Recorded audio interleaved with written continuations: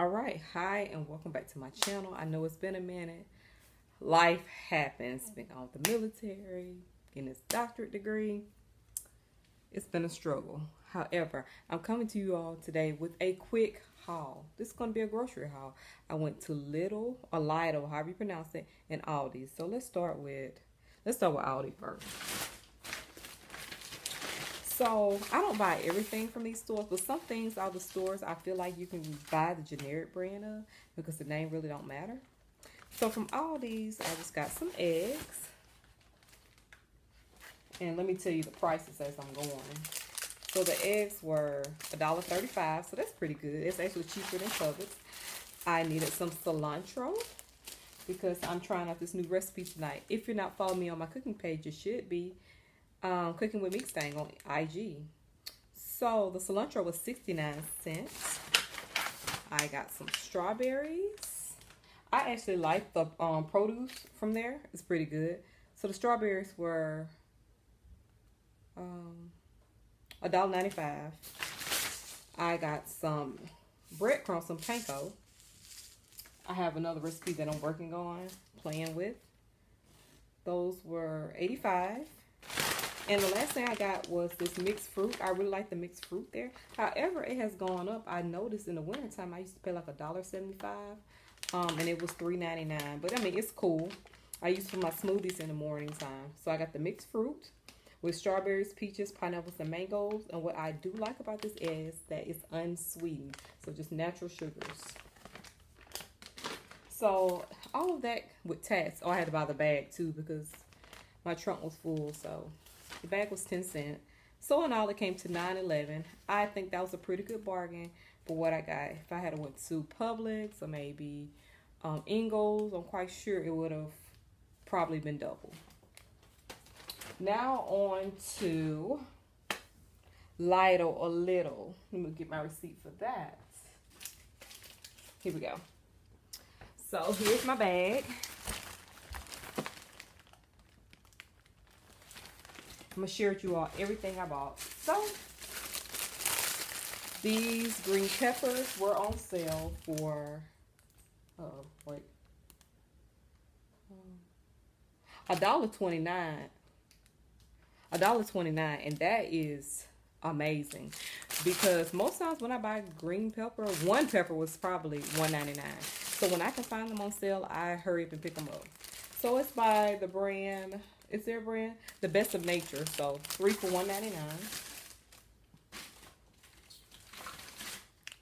I got some limes because I bake or I cook with limes and lemons. They were they were one ninety nine.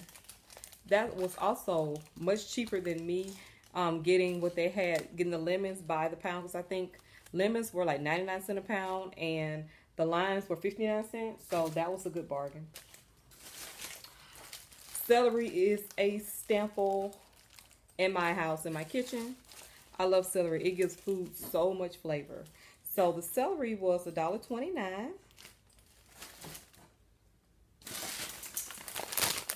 Oh, I picked up a cucumber for my salad that I will be making for lunch tomorrow. So 62 cents. I got a bag of spring mix, um, salad mix. So it's just baby lettuce, baby greens, and riccio. Hope I'm pronouncing that correctly. And if you're curious, I do have a video up on my YouTube on my Italian salad and how I make it. Back to the program. So, the spring mix was $1.89. Pretty good, pretty good.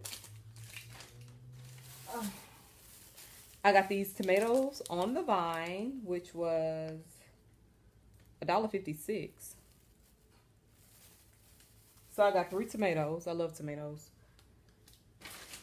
I got a pack of chicken breast fillets. Sanderson Farm. They was $3.34. I also picked up some black olives. I love black olives and my salads and on my tacos and things. I really like to eat them plain. So these black olives was 99 cents for a can.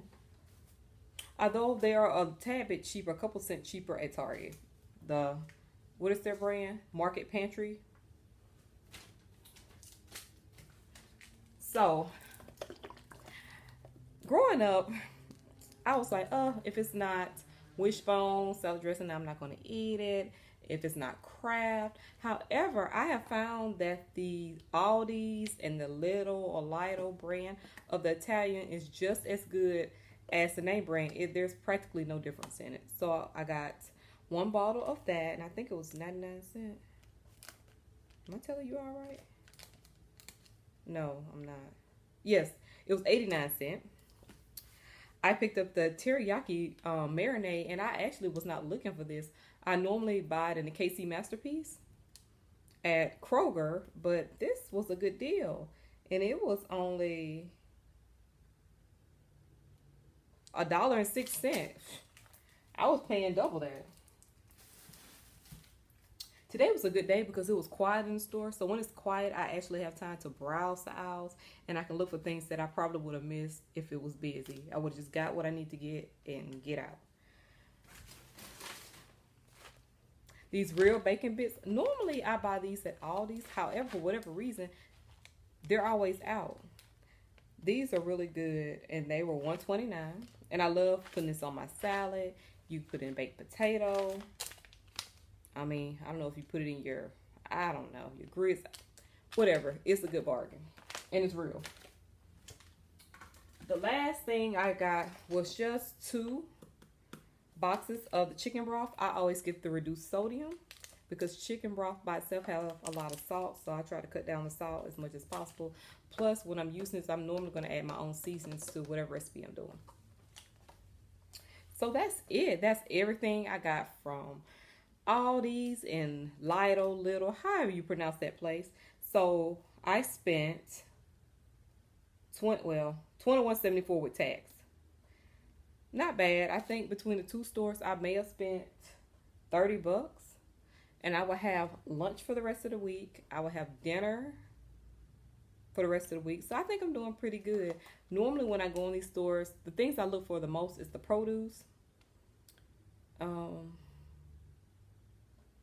I do buy, I have tried their cheese. Their cheese are pretty good. I get my eggs from there. I get my milk from there. I'm not a big milk fan, but I bake a lot. So I bake with a lot of milk. And they're pretty much Aldi is the best place to get like a lot of baking stuff like spices, seasonings, vinegar, all that type of thing. So if you've never shopped there, I encourage you to go and check it out. And that's it. So I am about to put up my groceries.